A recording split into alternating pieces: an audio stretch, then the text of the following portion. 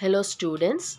The next problem under the topic coordinate geometry is show that the points 4, comma 2, 7, comma 5 and 9, comma 7 are collinear. So now what is collinear? When does these three points are said to be collinear? These three points are said to be collinear if they lie on a same straight line. So if we have a line segment the points on the line segment are said to be collinear. Now, here in this question, they are asking us to show that these three points are collinear. That is, they are asking us to show that these three points lie on a same straight line. In order to show that the three given three points are collinear, it is enough if we show that the area of the triangle formed by these three points is equal to 0 because they are all the three lie on a same straight line definitely they cannot form a triangle. So what we want to say here is we want to show that these three points are collinear for which we have to prove that the area of the triangle formed by these three points is equal to 0.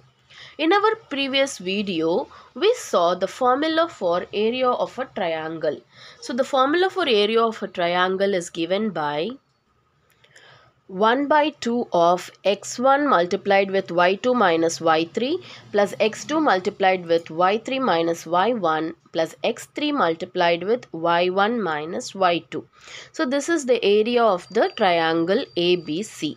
Now we have to substitute the values of x1, x2, x3, y1, y2 and y3 in all these places and we have to get an answer 0.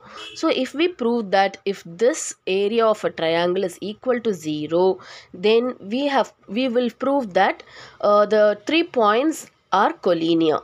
So now what are the three points given? So let us name these points. So let this be the point a.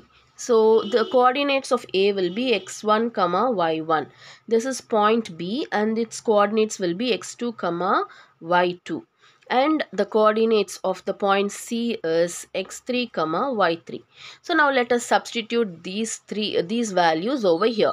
So the area of the triangle ABC will be equal to 1 by 2 multiplied with x1 what is x1 4 so 4 multiplied with y2 minus y3 y2 is 5 y3 is 7 so it will be uh, 5 minus 7 plus x2. x2 is 7. So 7 multiplied with y3 minus y1. y3 is 7. So 7 minus y1 is 2. So 2 plus x3. x3 is what? 9. So 9 multiplied with y1 minus y2. y1 is 2. So 2 minus y2 is 5. So 5 and so that will be equal to let us simplify this.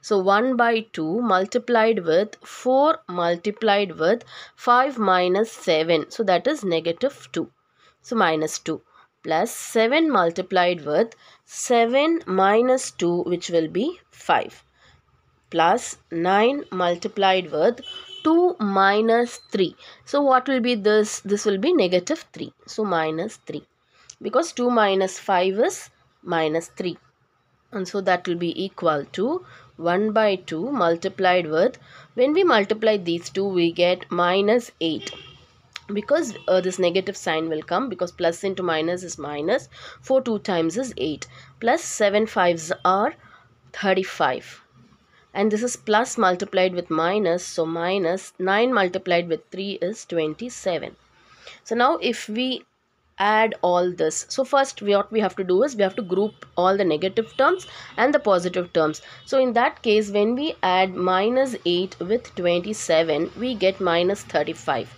and so that is equal to 1 by 2 multiplied with negative 35 plus 35 so this 35 comes here.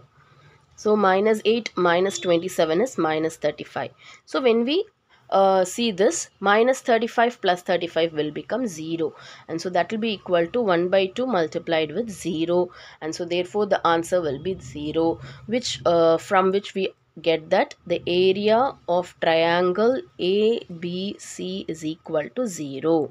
So hence we have proved that the three points are collinear. So therefore the given three points are collinear. So we have proved the required result. So hence proved. Hope you have understood this concept of uh, three points being collinear. Thank you.